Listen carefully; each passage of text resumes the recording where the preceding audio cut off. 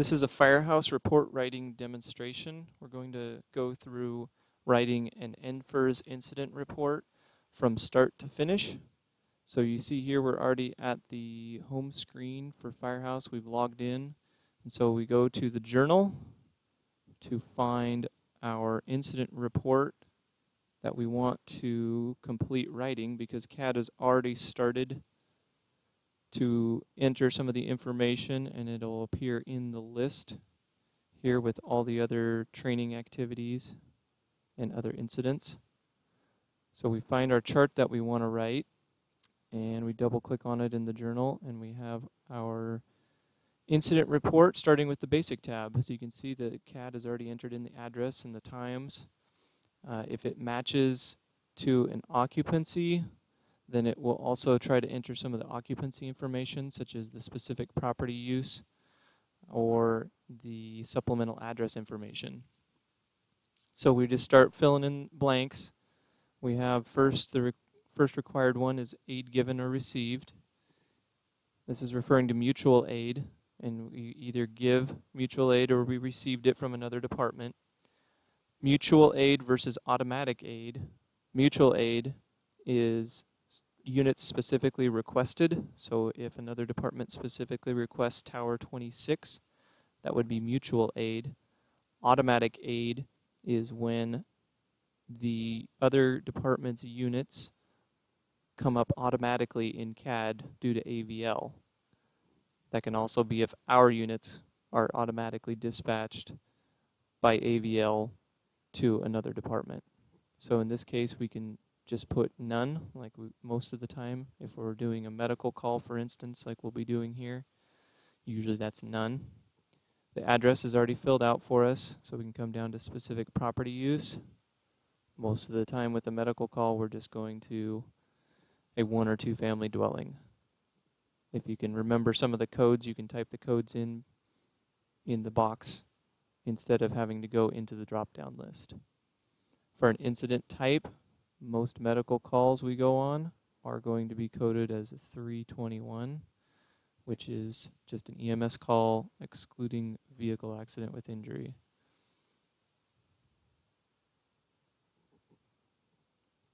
Next, we have our times. They're already filled in, so we don't need to do anything with those. Actions taken, again, for a medical call, typically is going to be either providing BLS or providing ALS if there's a paramedic on the apparatus. Shift is easy. Supplemental address is which engine area it was in, and then the township is the map page. And you can either just type in the map page, or you can scroll through the list to find the one that you want.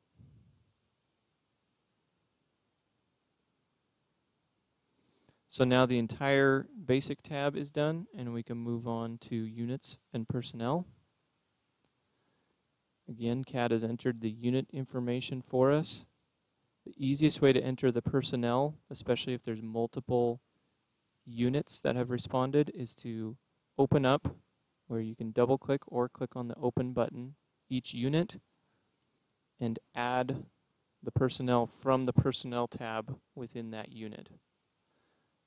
The one thing to complete on the basic tab for each unit that needs to be done is the priority code or response code.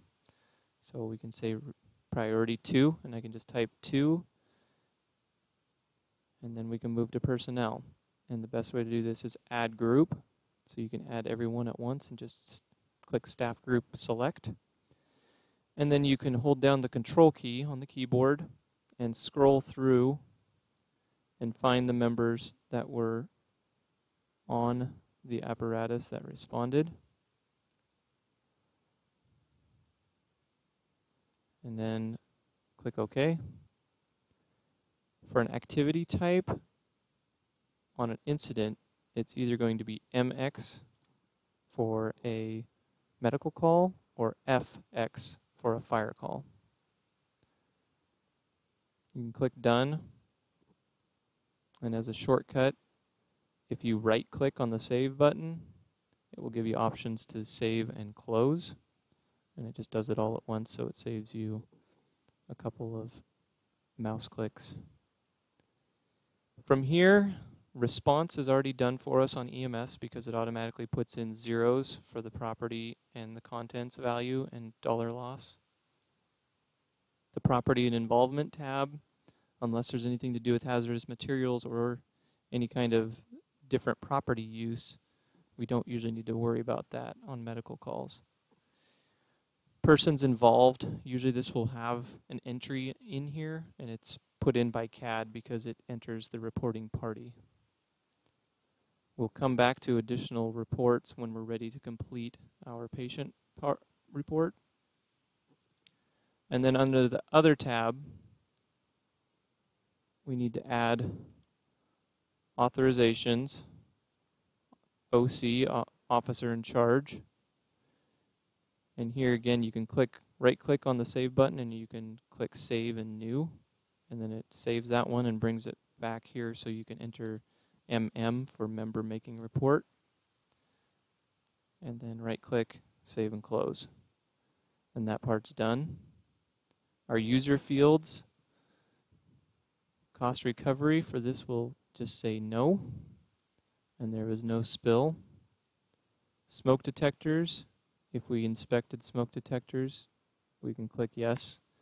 And then we need to select did we install any, and did we install any batteries, and if so, how many? For this, we'll just click No, which disables all the other fields, foam use. This is a medical, so we don't need to enter anything in there because obviously we didn't use any foam. Again, right click, save and close. The final part of the NFIRS incident report is the incident narrative. Here we can save some time by clicking on auto generate. As you can see, it already has NFIRS incident past format defaulted, so we just click generate narrative. And this gives us a framework to be able to write a brief NFIRS report about the medical call that we went to. The NFIRS report should not contain any patient information because that information is confidential and the NFIRS report is part of public domain. So for additional information, you can copy and paste from NetViewer any of the additional dispatch notes, or you can just type in a quick uh, few sentences that describe what dispatch told you or what you were told you were responding to. You can put down that it was an 88 year old male difficulty breathing, for instance. Weather conditions, not usually very important in a medical. You can just type in NA, or you can put in the weather conditions if you want. And then first unit arrived, this is just your basically your size up or your arrival report. On a medical call again, pretty simple. Male patient found down on floor, for instance. Everything else is pretty much done. It already says we provided advanced life support. We don't need to go into much more detail than that because we'll provide all the detail in the patient narrative. So we can click OK. That's done. And now we can move on to our patient report.